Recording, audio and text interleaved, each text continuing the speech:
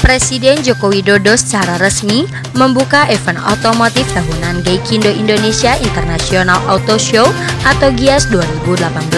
Ini adalah pameran mobil terbesar bukan hanya di Indonesia tapi masuk dalam jajaran pameran mobil terbesar di dunia. Pembukaan sendiri ditandai dengan penekanan tombol oleh Jokowi. Gaikindo Indonesia International Auto Show Gias 2018 telah dibuka.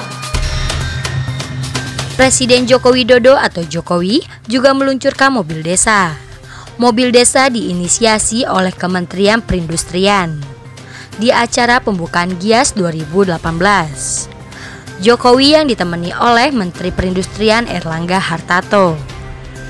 Mobil desa bisa digunakan untuk mengakses daerah-daerah yang selama ini pembangunan infrastrukturnya tertinggal.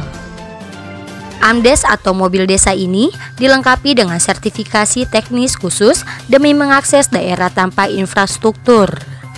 Tim Liputan Ibu Kota TV melaporkan.